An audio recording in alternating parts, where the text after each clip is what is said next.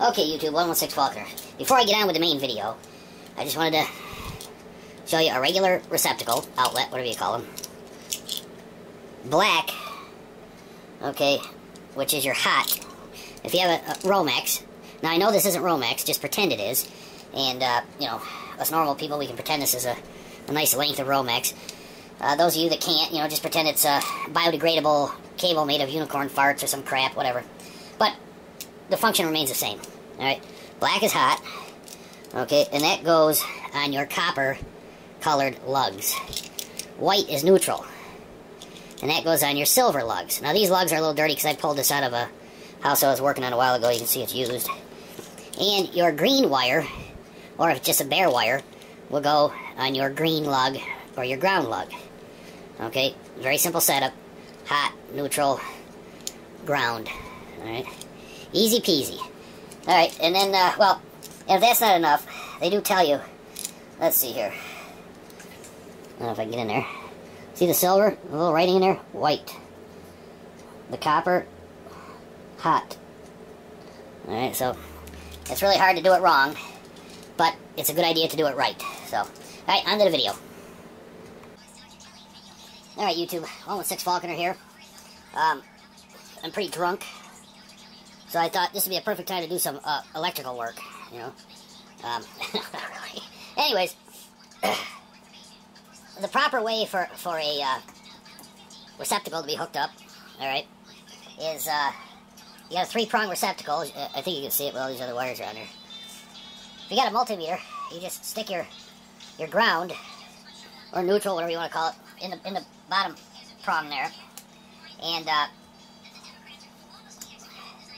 your large, the large prong is, is ground up here. That's that's your, this is ground. The small one is hot, okay?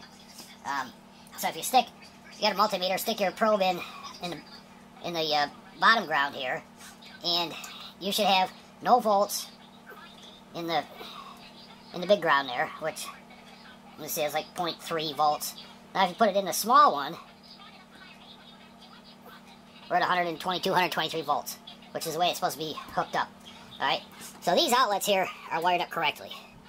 Okay, I'll show you one that's hooked up incorrectly. Let's go over there. Okay, so we have here a uh, GFI that is functioning. You can see if you hit the test, shut stuff off, reset, comes back on. But it's not wired correctly. Um, if we put our our probe in down here, and we, I'm trying to get everything in shot here. Okay, we got the probe in the lower, and we take our our red probe, put it in the the big slot here, which is supposed to be ground. You'll see where. Oh, come on. Well, there we go. Alright. So we're at 122 volts. If we put it in a small slot here, which is supposed to be the hot, you'll see we're not we're not getting anything. Make sure my ground is still good in there.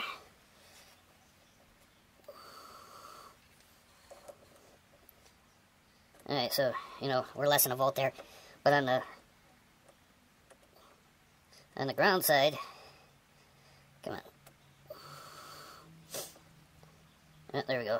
it's kind of hard doing this one hand and trying to keep the camera view. But this one's hooked up backwards. Alright? Between your your ground or neutral and your hot. Um, so I'm going to pull it apart and switch the wires. Hopefully it's here and it's not someplace else because, I mean, this is an old house. It's got, has uh, knob and tube wiring. Has the old two-wire cloth wiring. Um, it has modern Romex in there. I mean, it has everything. So we'll see. I'll be back.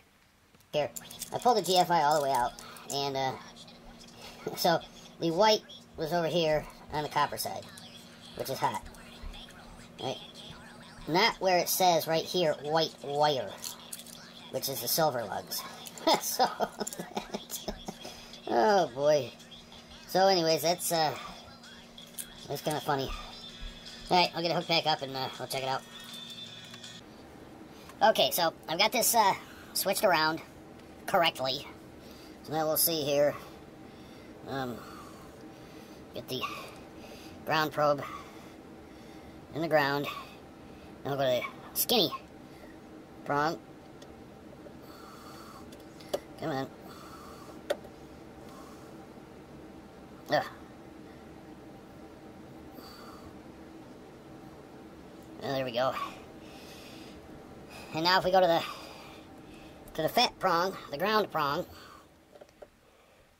we'll get you in there. And we are where we should be. Go to the there we go. So now that's wired up correctly. So I'll just show you one more thing in closing here. Okay, so if you're looking at an, uh, extension cord, just a two, two prong extension cord like this, alright, the fat end I can't tell if it's focused or not.